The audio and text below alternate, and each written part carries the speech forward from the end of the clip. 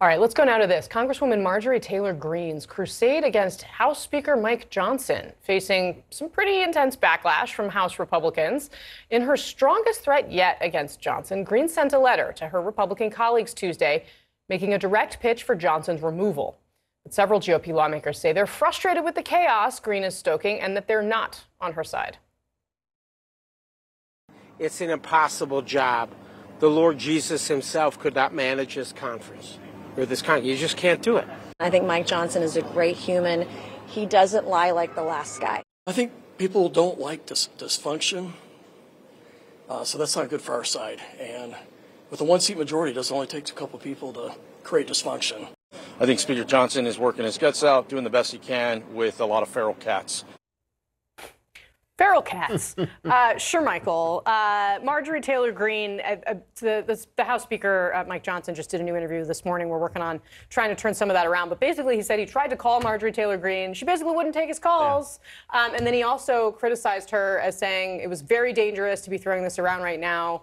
Uh, and she hopes that he hopes that she'll realize that in the end. I mean, I do significantly question why. I mean, why does she think this is a good idea? I, I don't know. I don't with, with, with a one seat majority, they're already likely going to lose the House. Democrats have an advantage. And this is brilliant political fodder for Democrats to be able to market in every single very tight, moderate Republican district to say these folks can't govern. They're not doing any, anything to move the needle forward on immigration. They're not tackling uh, the Ukraine issue. They're, they're, just not doing anything. People don't want that. I wish, Casey, I could get all the Republicans together on, on, on immigration, on reproductive rights, and on Congress and say, what in the heck are you guys doing? Because as a strategist, we're losing, we're ceding whatever advantage we potentially could have on any of these issues to our Democratic counterparts. This is nonsensical to me. So it sounds like we actually can show you what, what Mike Johnson had to say about his. I mean, I guess his view is pretty predictable since he'd like to keep his job. Still, here's what he said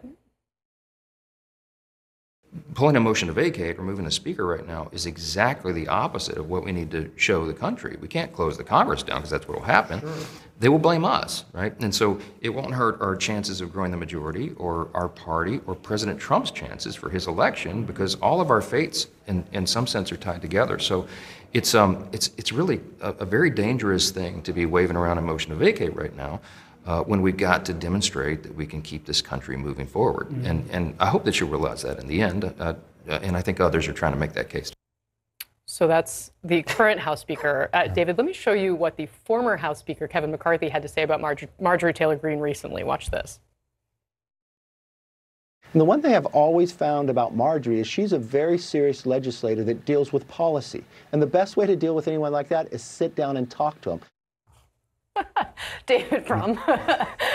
Okay, so Marjorie Taylor Greene is, is a licensed clown of American politics, but I don't think we should make She's her. She's not a very serious legislator. I don't think we should make her the center of the story. In order to keep his job, Speaker Johnson is willing to sell, sell out the cause of Ukraine. He is. This, we are marking now the sixth month. We are approaching the sixth month of the uh, uh of inaction by this House of Representatives on the president's October 20th request for aid to Ukraine. Uh, Ukraine, Ukraine and women in combat are dying. Ukrainian cities are being destroyed, all because of Speaker Johnson's determination to keep his job by not allowing a vote that could be won if he would allow Republicans well, and Democrats to vote together. Because he's signaling that he is going to do it. I mean, she is focused on that and saying, I'm going to do this if you do that. This is no, this, he, he, doesn't have a Ukraine strategy. He has a save his job strategy. Okay. So he signals he's going to do it, and then he doesn't do it. It's six months, and people are dying, and a war is being lost, and cities are being destroyed.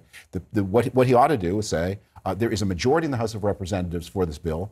It will be made up of about half my Republican caucus and almost all the Democrats. And I am going to vote for the, the, the, House of Representatives vote and not just a majority of the majority. But his determination to save his job is losing a war. And his job is not that important. He's not that important. And I don't think we should allow him to villainize Marjorie Taylor Greene when he is the main protagonist in the most shameful episode in American foreign policy in two generations.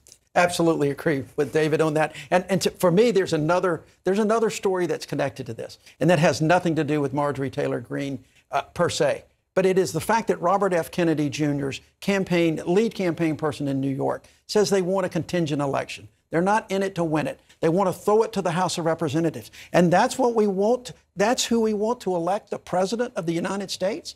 A, a dysfunctional House of Representatives? I think that that's a big story that people need to pay attention to. That a vote for Robert F. Kennedy could put the vote for your your vote for president of the United States with a dysfunctional House of Representatives. That's a very interesting angle on the RFK story that we have not yet covered here. That I will make sure that we do continue uh, to cover. Uh, sure, Michael. Uh, to, to David's uh, point about Ukraine, I mean, it does seem like you know, the, the House Speaker has an incredible opportunity to Yeah. be a savior for the West in many ways, is how potentially you think about it. If you want to be a big figure on the world stage, that's not necessarily how you do it. No, mo- most Americans, to David's point, actually supports uh, supporting Ukraine. They understand that Russia is a villain that we have to defeat by any means necessary.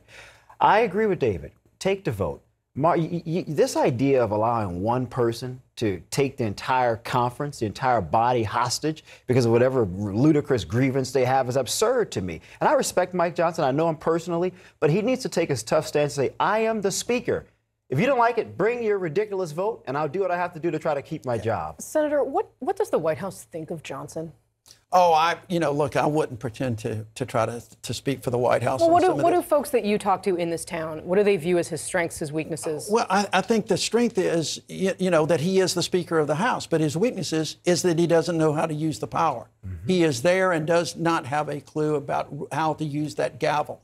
And and uh, I think I think Democrats are always hold up Nancy Pelosi as the standard for someone who understood the politics, who understood the, the, the gavel, who understood how to use the speakership to do the right thing, or at least what she perceived. Not everybody agreed with her, but she did think she moved things forward. And and and Mike Johnson seems paralyzed, completely out of his league when it comes to trying to exercise the gavel of the Speaker of the House of Representatives. Yeah. Dave, we've got 30 seconds in the show. You agree? Uh, yeah, go to Hakeem Jeffries and say, from time to time, I'm going to need 25 votes. Um, I, I don't, don't- not on policy issues, but I'm going to need 25 votes. There must be something you want from me. Must be something you want. Bingo. from me. Fair enough. All right. Uh, thank you all very much for a great conversation uh, today. Really appreciate having you here at the table.